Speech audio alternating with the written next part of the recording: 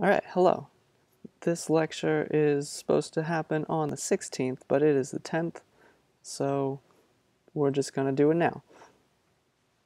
Uh, today's lecture is about files, and I guess let's just go on into it. This is this is weird for me too. Uh, so we have already we've talked about two different ways of getting data from the user into your program. So we've used cin before, and we've also used command line arguments the the last piece that we haven't talked about yet is reading from a file because there's that's the third way of getting input. Someone saves a file and then you want to read that and get all the information, do cool stuff with it. Uh, and then there's also again three ways to output something. We've done it to the terminal using cout and cerr, and then also we can make a file. We can write to it, one that already exists, or just make a brand new one. And so today we're going to talk about reading and writing from files. Uh, so here is an iClicker question that I'm not going to ask you to do, so maybe pause the video and think about it, and then we'll talk about the answer. So assuming you've thought about it, uh, files will be stored on your hard drive, and that is in secondary memory. When we're going to read them into the program, uh, we're going to copy them into main memory so that we can actually use them, just like when you run a program. So here is like my whiteboard for the day, and I will be typing notes here. So uh, maybe I can make this bigger. Yeah. So files are stored in secondary memory. For example, on your hard drive, like on a flash drive. And when you uh, load them, or when you read them into your program, they get copied into main memory. And then of course, if you're like, if there was a number inside, eventually you're gonna put that number on the processor and add one to it maybe. Uh, files are not stored in your programs. Your programs themselves are files. So the answer is definitely to be B for this one. Where is my drawing thing. There we go. So answer is B, and hopefully that makes sense. Before you actually read them, files are going to be stored inside of secondary memory. And all right, so here's the strategy. We're going to talk about exactly how to read from files first, and there is like uh, a common set of things that you need to do. So the first thing is, well, you better open the file. You find it somewhere, know where it is on your uh, on your hard drive some path from the current working directory that you're in. Maybe it's in the same directory. And it's very possible that like you're out of space on your hard drive or like you gave a weird name that doesn't make any sense or the file didn't exist to begin with. So problems could go, uh, problems could happen when you're trying to read this file. And in that case, you better stop your program if you expected that the file was open. And then uh, eventually you're going to have a file, if everything went right, you're going to have a file to read from, and then uh, assuming that the data is arranged in some kind of format that you know about, you'll probably read uh, from the file in a loop, usually line by line, process it somehow, and then eventually you're going to get to the end of the file and you're going to stop. Uh, stop trying to read because there's nothing else to read, and then it's always good strategy to close the file once you're done with it because maybe your program wants to continue working, maybe other programs want to use the file and it gets locked if you uh, try to read from it. So it's always good uh, programming strategy to close the actual file that you're trying to read from. Uh, but if you're at the end of your program, uh, the file will get closed once your program finishes anyway. So let me put that here. Your all files, open files, will get closed when your program terminates. So technically you don't have to close the file at the very end. If that is all your program was doing, the program was about to end, you don't have to close it. But I'm going to show you me closing it just because we want to be good programmers, right? And so translating that into code uh, is going to look like this uh, we're going to use this new library called fstream, and it's going to work a lot like iostream. So let me go to the uh, like the C++ reference page for this. Uh, so if you look at the fstream header, we're going to see that we have two things. The first one that we're going to look at is ifstream, which stands for input file stream. And we can do some stuff, one of which is use it exactly like cin. We have the same greater than greater than operation that we can pull stuff out of it from. And then also we're going to use uh, a function that, oh gosh, I forget where it lives. It probably lives in, hmm,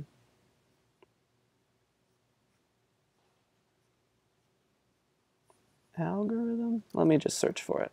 Uh, get line, C++. This function gets an entire line at a time. And it lives, ah, it lives in the, either the string library or the iStream library, apparently. So yeah, we'll have to include string. So we get this function that reads an entire line at a time for us, which will be helpful. All right, so uh, there should really be a main function here. Just imagine that there is a main function uh, because here's like everything above, everything below is code that should be inside of a function somewhere. So the thing that we're going to do first is make this ifstream object, which is going to uh, keep track of whatever file we're in, right? And then we're going to open that file that we're trying to get at. Maybe it's called numbers.txt.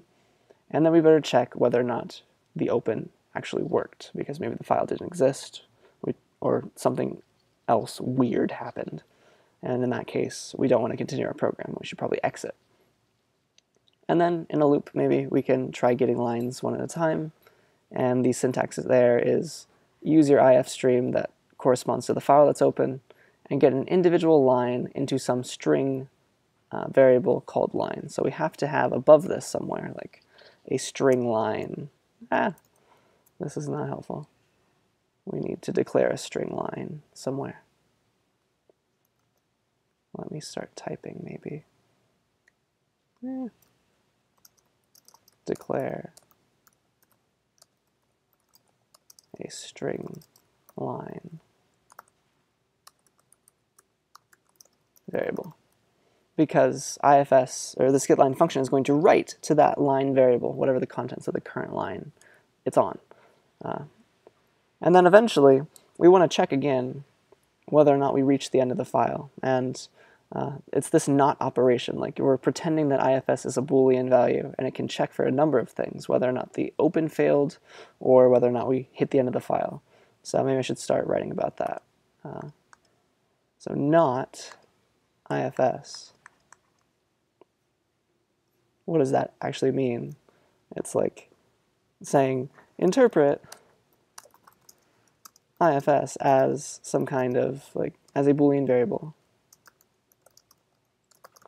It's true if the file that is open, or it's true if the file is good still, for some definition of good. Uh, so it'll become false if uh, we couldn't open the file. That's a bad thing. Or if we tried to read past the end of the file. That's another bad thing that could go wrong, and that will make IFS go from true to false. And I'm going to give an example of this just in a second. Let me finish explaining this. And so eventually you're going to hit past the end of the file. You should stop reading if you're still trying to read. And then you want to close uh, the file that you're trying to read because you're done with it now. There should be a semicolon here, of course. Uh, so with that, I think we should go to some examples. So here is code for, I think, ah, sorry, I want to write to files first. So here is the alternative. Uh, here's reading a file. You can also write to it using uh, changing the I to an O in OF stream. So we'll create an OF stream object. That should be an O Oh, and it made it a circle, but you understand. All right, and then we'll open it again just uh, for writing purposes now. And we will write whatever we want to write. Apparently we're going to write some animal names and that is going to give us examples for the lab that you'll be doing with files. You'll be counting the number of ducks that are in a file. Because why not? So here is this uh, all coded up. Uh, so we got to include fstream because now we can get at ifstream and ofstream. That will give us uh, the ability to write to files, and we want to write to a file first. We'll call animals.txt. It'll be ofstream, and this is just the name of a variable. OFS, you can change this to like my file or whatever you want to call it. It makes no difference at all. Uh, it's just a variable, and I'll tend to use OFS and IFS. All right, so here we've made the file, we've declared it, but we need to actually open whatever we're trying to write to. And so we're going to say, all right, open animals.txt. And we should really check, like, did something go wrong? Like maybe we couldn't open the file. In that case, uh, we should exit. And if we're going to exit, uh, we better include cstdlib. All right. And let's see. Assuming nothing went wrong, we'd get here, and we could start writing to the file. And by default, OFS's, OF streams are going to overwrite whatever's there. So if you wanted to continue adding stuff to it, you want to do what's called appending to a file, and that's what I'll talk about next. But right now we're going to overwrite whatever was there. Maybe the file doesn't even exist yet. Uh, right now, if I go to my 716 folder, I do not have a file in this current working directory called animals.txt. So, when I run this program, it's going to make it, because wherever you run the program, it will make a new file in that current working directory called animals.txt, right? And so now, let's maybe compile it. Uh, and then, of course, we're going to close the file because we're done with it. But technically, you don't have to because the program's, program's about to end. Technically. The program is about to end, and the file will get closed automatically. But we are good programmers. So we're going to do it anyway. All right, and so the idea is we open this file, either it does or doesn't exist, we're going to overwrite it either way, and we're going to write one two, three, four lines to it, okay, with those things. So let's watch it happen, and maybe we should make a makefile for it. So let's make a new file called makefile, and let's make a rule for this files1 program. So it's going to be called files1, and in order to make it, we require the source code, files1.cpp, and we're going to go and use g++, name of the file, dash o, the name of the thing we're trying to get, and now I could just say make files underscore one. Technically, I could have just set it and used the default rule, but we are being fancy today. All right, so make files underscore one.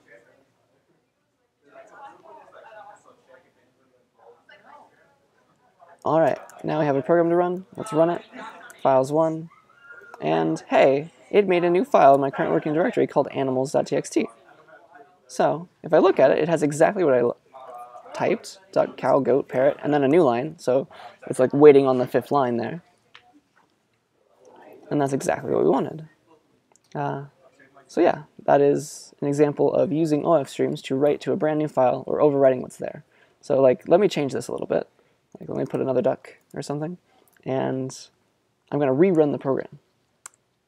And what it does is it overwrites the file again with whatever it writes. And so you can't use OFStream uh, in non-append mode if you want to add stuff to the file that you're trying to write to.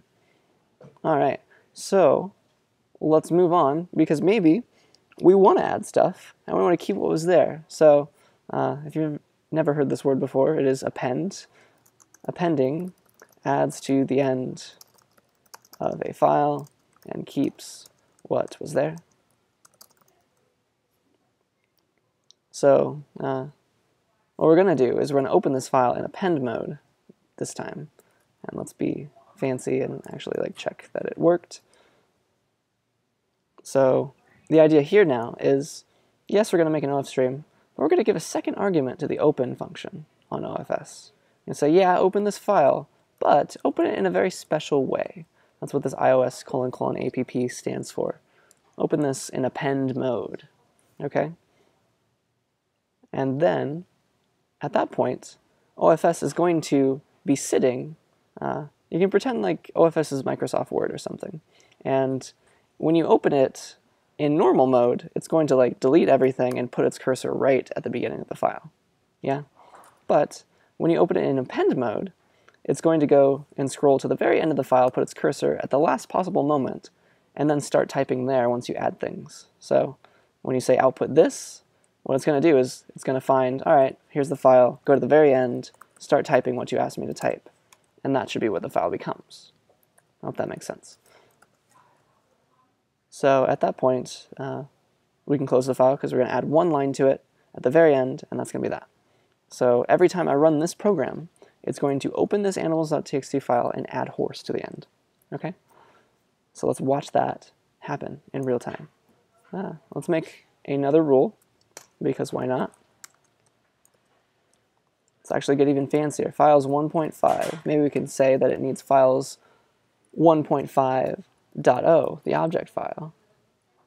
And then we'll use that to make the actual executable file. Let me make sure I spelled all these right. Yeah, okay. But then, hey, how do we make files 1.5.o? Well, we could use a default rule, but we could also do it ourselves. That requires the source code file as a requirement, as like an ingredient, files 1.5.cpp, and then to make it, we do g++ dash c, name of the file. So this will make for us uh,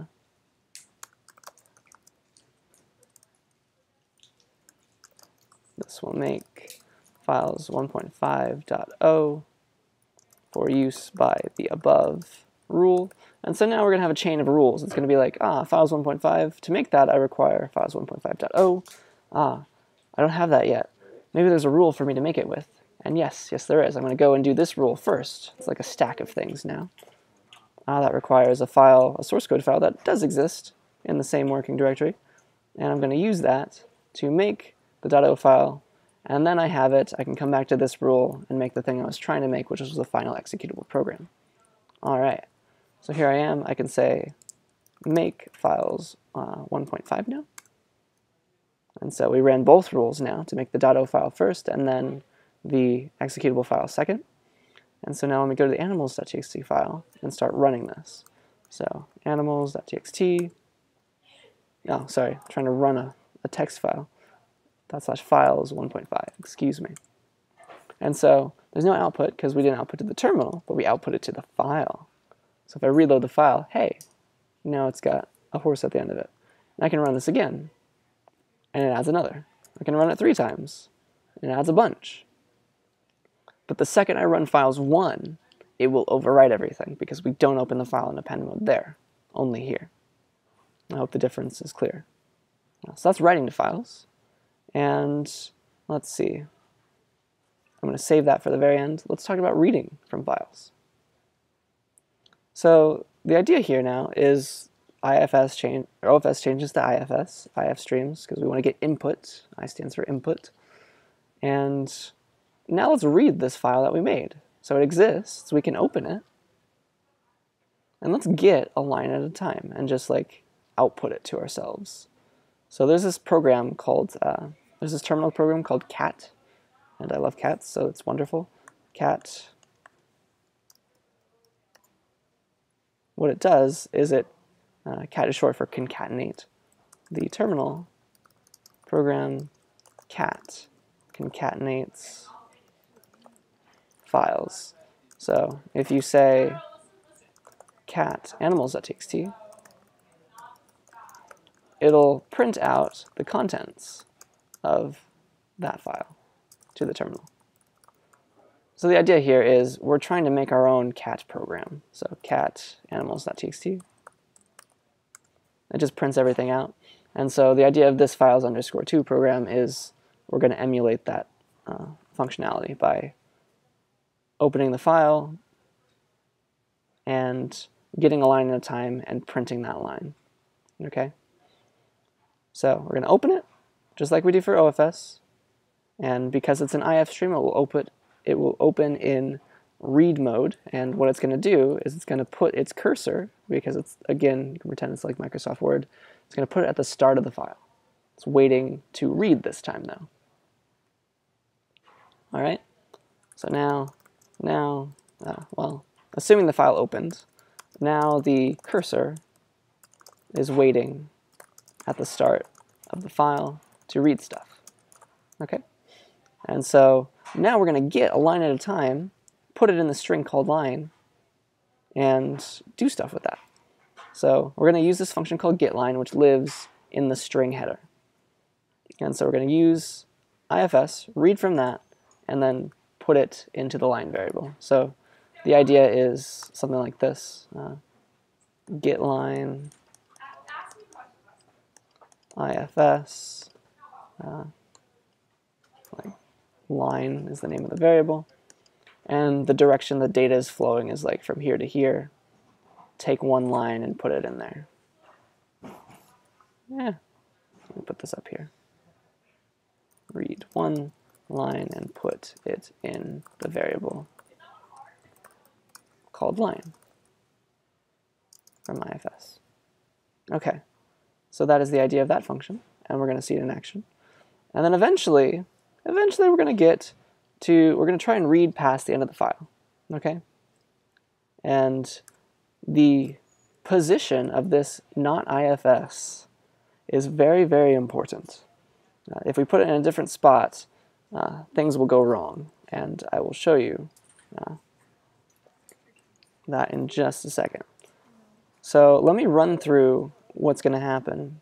So in this, uh, in this loop, here's what we're going to do. It's going to open the file. It's going to start here with its cursor, right before the D, and it's going to get a line. All right, it's going to put it in the line variable. So after the first iteration of the loop, the contents of the line variable will be duck. All right, and then the cursor, having read one line, will be sitting now on the second line okay?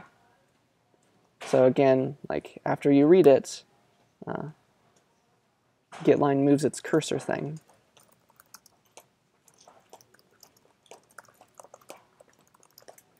to the next line after it reads one. Okay? And so in the next iteration of the loop, we're going to read cow. And then in the next iteration, we're going to have, or right before it at least, our cursor is going to be sitting at the beginning of the third line. And then when we call getLine, it'll get all all the contents of that third line, excluding the new line character, that is. And so eventually we're going to do this nine times, and eventually we're going to be sitting right here on a line that is empty. All right?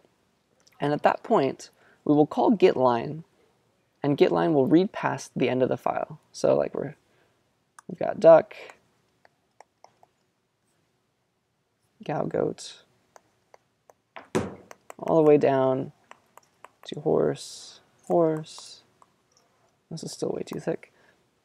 And that's the end of the file. So eventually, like our cursor is going to be sitting right here.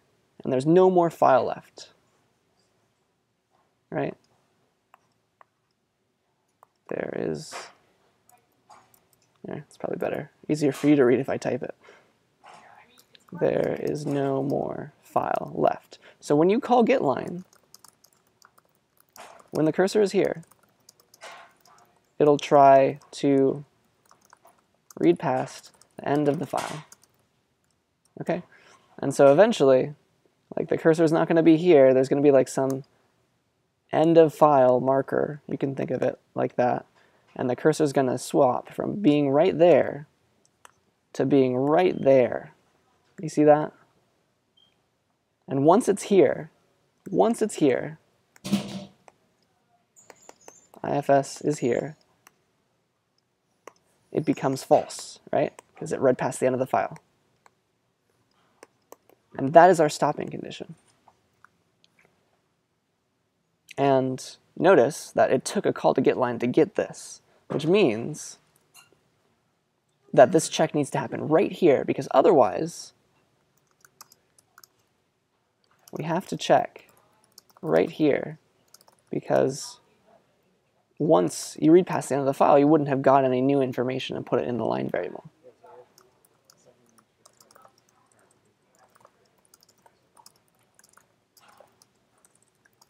Any new info to put in the line variable. Let me put this on separate lines.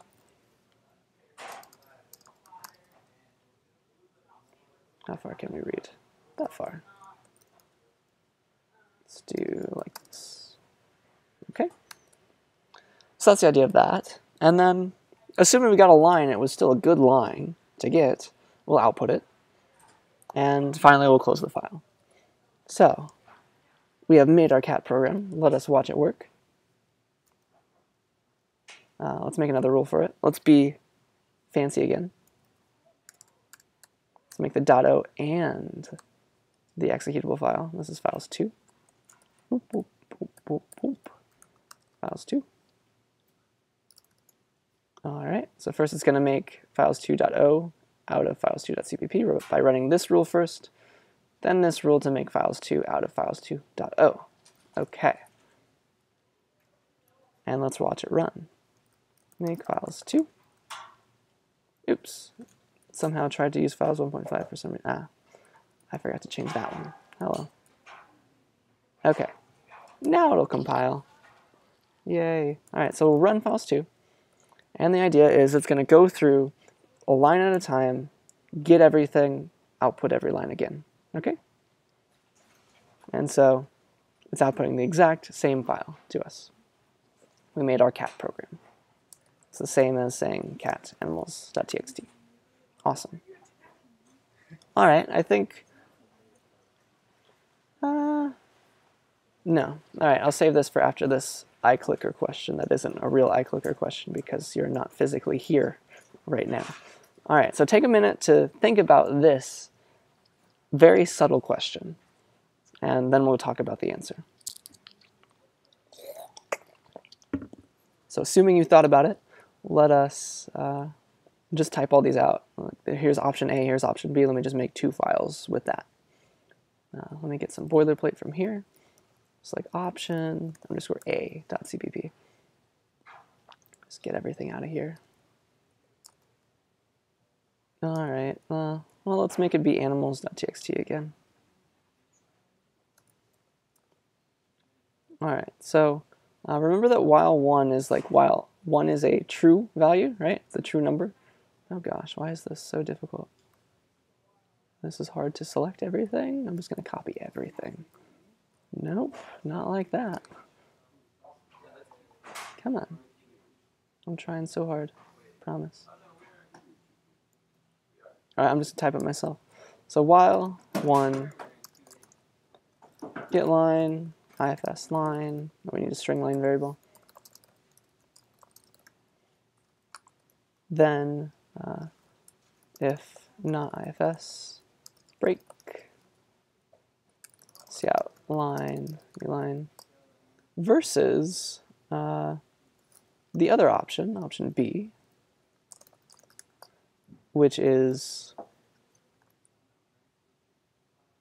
just checking not while true anymore, while ifs is true. So eventually this will be false once we repass the end of the file, right? uh, just do a get line and then output that line always. Okay, let's watch this work. Option A, option B. Uh, we love our make files today, so let's just just go hard with our make files. Two, three, four. Option A. Option B. All right, so let's compile and run these. Make option A option A. And hey, I think it does the same thing. It found everything that we needed, and it printed them all out. That was, there were, there were five horses, right? Cat, animals, txt. Yeah, there were. Awesome. So that did it right. So A is totally a valid answer. Let's see what B does. Oops. I need to make it. Option B. Ooh, Ooh, what happened here? There is an extra line. There is an extra line. And actually, let me change this file just a little bit to have no new line at the end. Now let's run option A and option B. And this makes this, the problem even more apparent. It outputted five horses, option A, that's correct, there are only five. Option B outputted six. Uh-oh. So the answer is totally A. But why? Why is it so important to check for IFS in the way that it's being checked right here in A? What's the real difference? So the idea is after you call getLine, it's going to move that cursor, right? So like we're sitting right here. Call getLine. We're going to get the horse, yeah? And then we're sitting right here, about to read past the end of the file. Like you can pretend there's that EOF thing right here, and there's nothing else. It'll take a call to getLine to do that, all right? So getLine reads past the end of the file on the last iteration of the loop. In this case, right here, it'll notice immediately that it read past the end of the file. The line variable doesn't get updated when it does that, and so it stops. Stops the program because there's we didn't read anything useful. We read past the end of the file, okay? And so it does not output that last line variable. While B will. What it does it'll, is it, again, it will be sitting here, ready to read the end of the file marker. Getline will read that, and so now it will set IFS to false. And so IFS is false right now, but we haven't checked. We're about to output line. Oh man. But what was line? It was whatever the previous line was because it doesn't get changed once we read past the end of the file. That was no fun. That was incorrect. And so it's very important to check right after, immediately after, right here, whether or not you read past the end of the file. You see that? So that is that is the key. Because you getLine will possibly read past the end of the file and put no useful information into line you better check before you use the line that you tried to just read. Okay? So let me put that into words on the notes page. Uh, whenever you better check whether or not you read past the end of the file whenever immediately after end of the file immediately after reading something because otherwise it's possible that you didn't get any new information. In the case of getLine, that line variable will be whatever the previous line was. Okay? So that is that. And I think that will make sense then. Uh, so yeah, always check. Always check in that particular order. And that should be that. All right, so let me see what else I have here today. So I have this files 3, and it's a bit more complicated example. Uh, it has this file called uh, Parrot Sketch, which is from Monty Python. Uh, this is another professor's example, and I love it, so I'm stealing it. So here is the text of this parrot sketch thing. You can find it on YouTube. It's it's pretty funny. I like my British humor. So uh, it's called the parrot sketch because they say parrot a lot. Like, just like this dead parrot that one person th thinks is alive and the other doesn't. So uh, there are a lot of occurrences of the word parrot in this file. Yeah? Let us count all of them. That is the objective of this files 3.cpp file. So we're going to open the file, make sure it actually opened, and again, you can return one because returning from main is the same as calling exit one. Returning from main stops the program. From main only though. Exit will stop the program from wherever you are. And so we're going to count how many times we see parrot. Okay? And so initially we have no parrots that we've seen. And we're going to ask the user how many times we want them, how many, uh, how many lines you want us to consider. So we'll ask the user to uh, whether they want us to count the parrots in the next line by having them enter a new line to continue or something else to stop. And I'll show you what that means when we give an example. So we're going to keep on getting a character from the user using uh, cin, a special function from cin. And as long as the user keeps typing new line, we're going to try and count the number of parrots in the next line of the file. So we're going to read the file line by line, of course, and stop once we hit the end. Uh, we'll output the whatever line we have, and then we're going to see if that line contains parrot. And this is a string function. So let's go to the string library. We're already mostly there. So every string has a dot find operation. And it searches for where that thing was. So starting from the beginning usually. So this is a default argument. So look in your string for this character, for this, uh, for the string parrot, and return back to me the starting position of the string where parrot occurs. And so it'll return negative 1 if uh, it doesn't exist in the string, but it will return a non-negative number if it does, because that will be the index into the string where it starts. Okay. So we'll output that thing. It'll be negative 1 or a positive number. And if we found it, if there is at least one parrot in that line that we're reading, we'll add 1 to this numParrots variable. And then we'll keep asking the user, hey, do you want me to figure out or count the number of parrots on the next line? And this is a function that you have not seen before, I don't think, and it's called cin.get. And so it's part of IOStream, it's part of cin. Uh, where is that? It's input output, IOStream,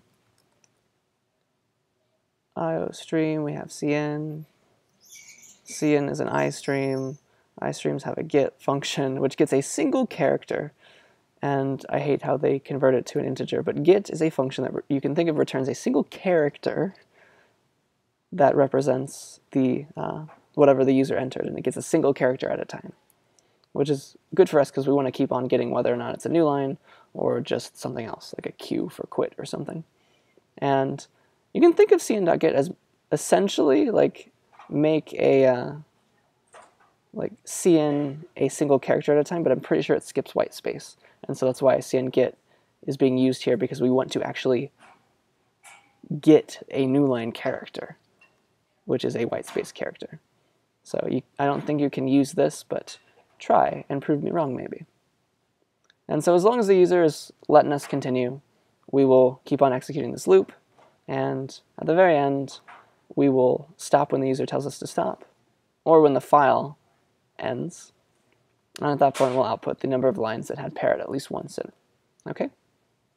And we'll close the file because we're good programmers. So, let us go back, make our makefile.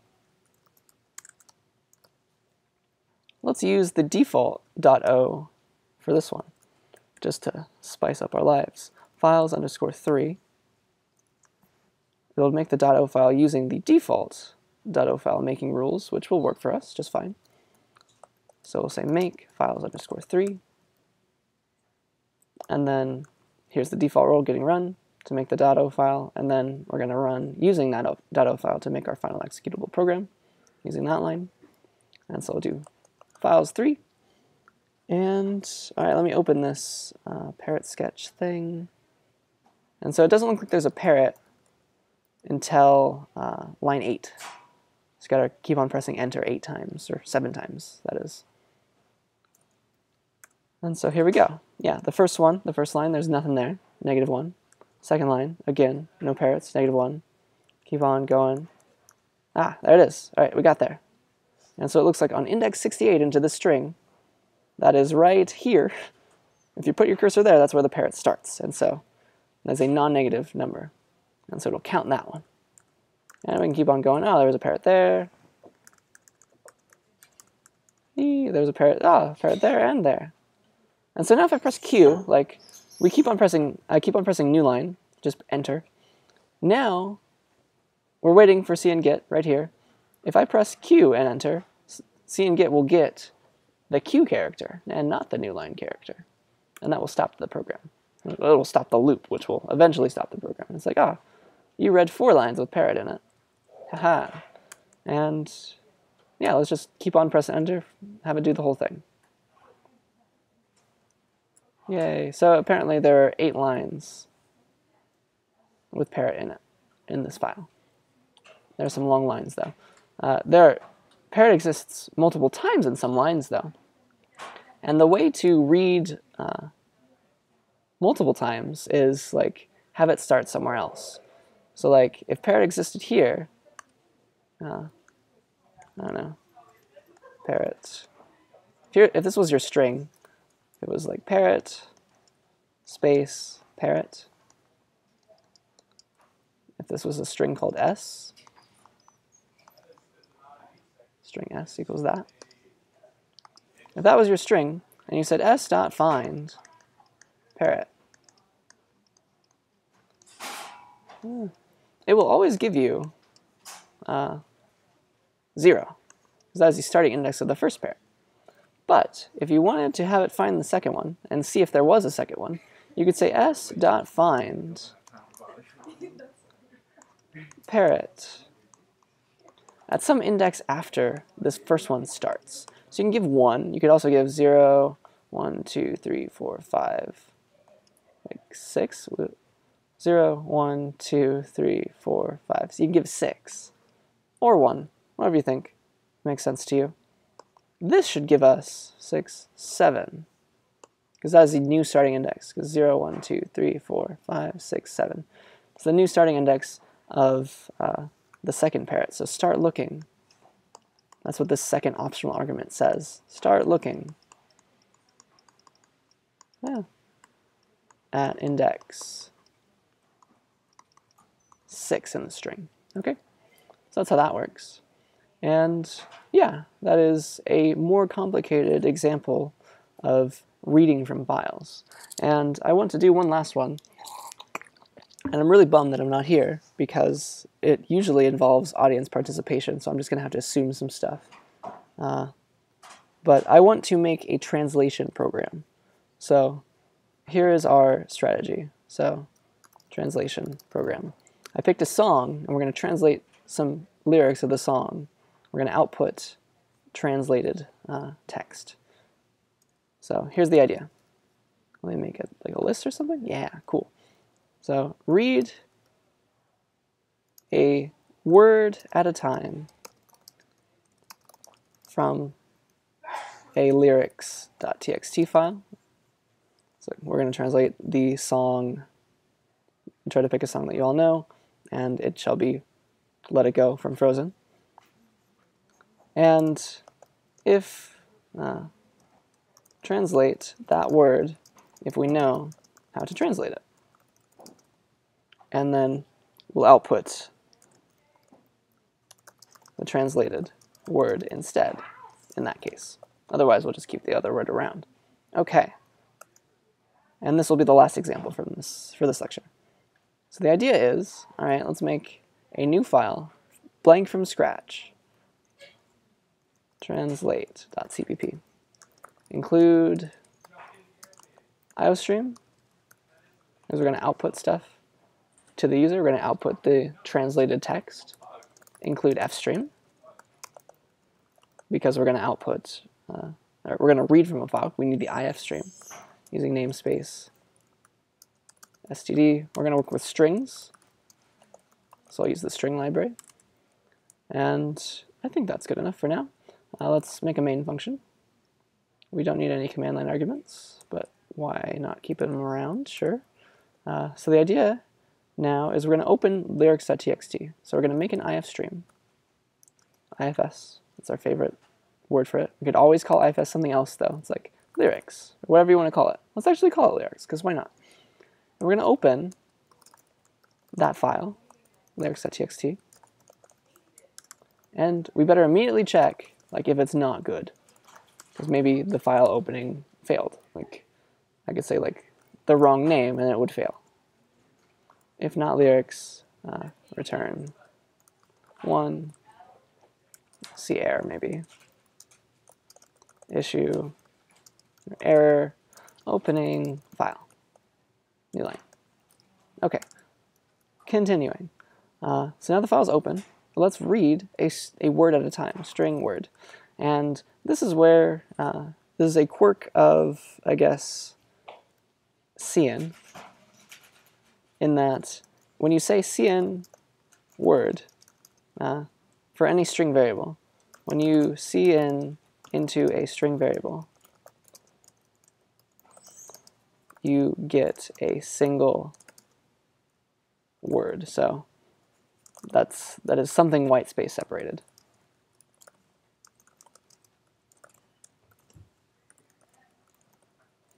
And we'll see if that's good enough for us in a in a second. But we're going to be using that in a loop though. So all right, let's do while true. Read a word. Possibly translate the word.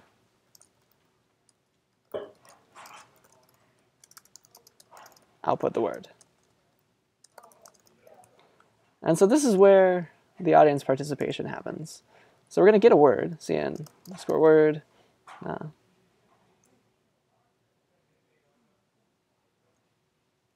and eventually the file is going to stop. I need to think about where I need to check for that. Here might work. Uh, yeah, here, I mean, it's necessary. If not, and it's not ifs anymore, it's lyrics. That's the name of our ifstream variable. If not lyrics, break. And we're going to say string new word, maybe. We'll have a translate function. Translate the word we had and then we'll output it. cout uh, word. And maybe some spaces in between all the words. So we're going to change this to preserve whatever was there. But for now, this is going to work. So, all right, we need a translate function, string, take a string, return a string.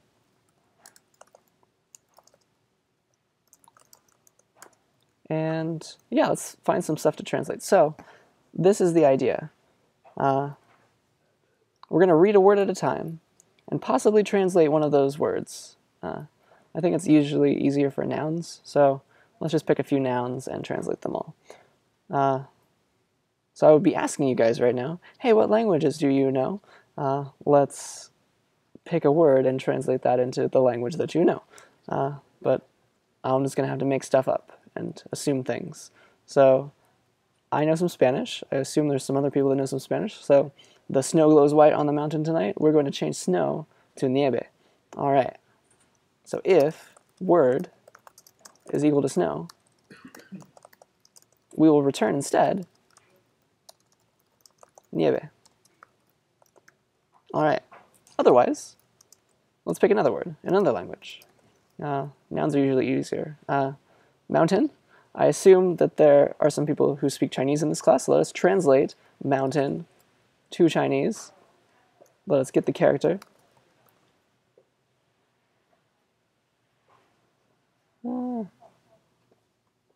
Excuse my computer being in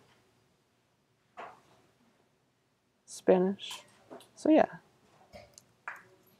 I guess it's also Japanese too. So kill two birds with one stone.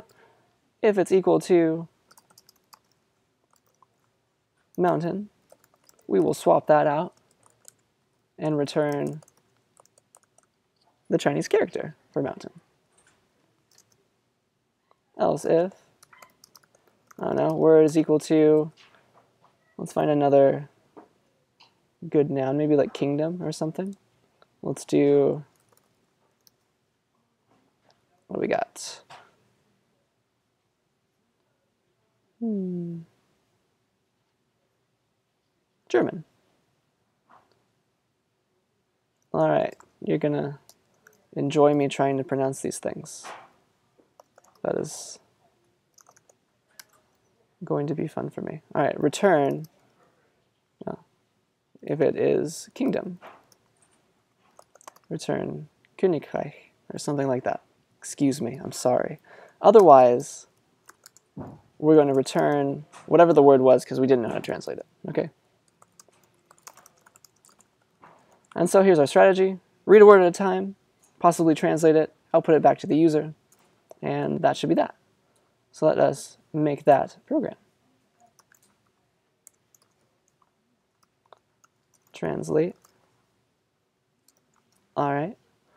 And let's see if I did anything wrong, because this was completely from scratch this time. Make translate. Try and put this over here. Yeah. Dot slash translate.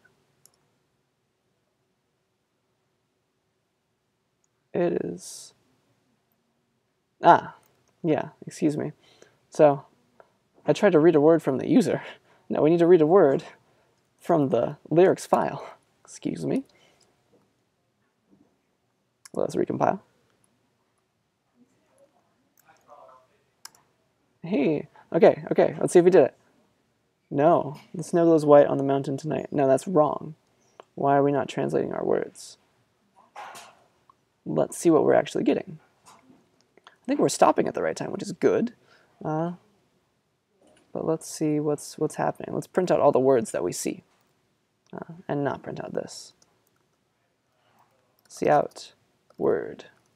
And maybe I'll put it in like quotes so that I can see exactly where it starts and where it ends. Because I made a mistake somewhere, and I'm not sure where. Yeah. Okay.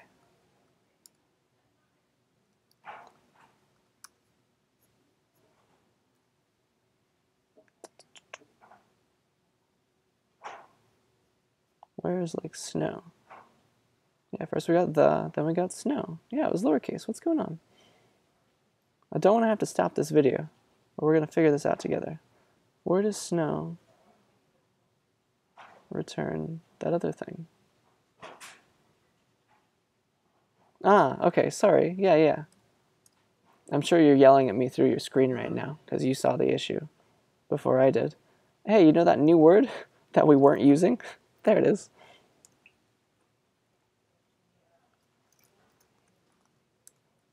Okay. Rerun. Yeah. The nieve glows white on the Shan tonight.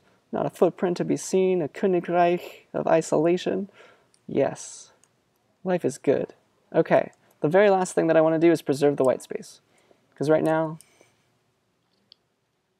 right now, we're outputting just the word and then a space. That's that's ugly. It, it was not like the lyrics. These lyrics are beautiful and they are arranged in a special way. There's a new line after tonight. There's an extra line after this stanza. We want to keep all that stuff around. And so the idea is we can read a character at a time of white space because when we try to read into a string variable, it's going to skip all that white space. But we want to keep it around. All right? So I'll put the new word, and then we will preserve the white space after that word. So we're going to see whether or not uh, we can do this. So if lyrics dot get, we'll get a single character at a time. But the problem with that is like if we're right here, yes, we'll get a new line character. If we're right here, yes, we'll get a space character. But if we were right here, we get the Q. And that, that would move the cursor of our IF stream, which is not what we wanted. So I'm going to use something called peek is equal to uh, slash n or there's actually a function called isspace, and I'm going to use that and that lives in a library called cctype.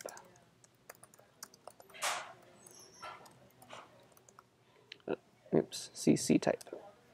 And this will return true if the character that you gave it was an actual space character. So peek gets a character without moving the cursor. And that's exactly what we want wanted, because maybe it wasn't a, a space character, in which case we didn't want to eat it up.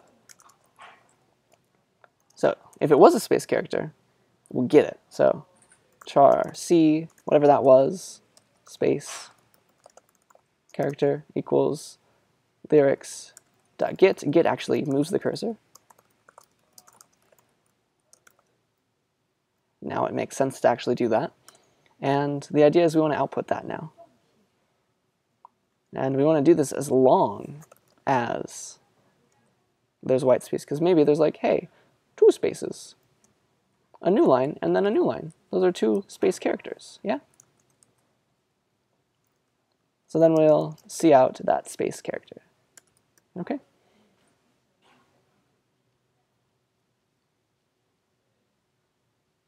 And it's probably good strategy to actually like check for the fact that we can still read from the file. It might be okay depending on the way that peek is implemented, but I'm not quite sure, so we're going to be uh, better safe than sorry.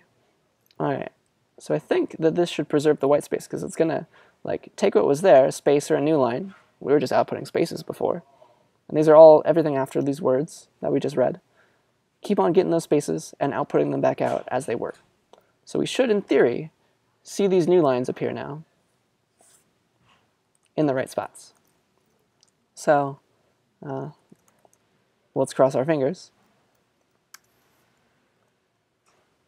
and rerun the program. Oops. Hey, okay, okay, okay, good. And now we have preserved the spacing of the file by peeking and getting and testing for things in the right way. And yeah, I think that is enough of the example. sorry for my bad pronunciations of all of the languages that I don't know, but I hope you enjoyed it. I think uh, that brings us to the end of these slides. Uh, and I have one more video lecture to record. But I think this is the end of this one. So thank you for putting up with me, and I'll see you in the, see you in the next one. All right.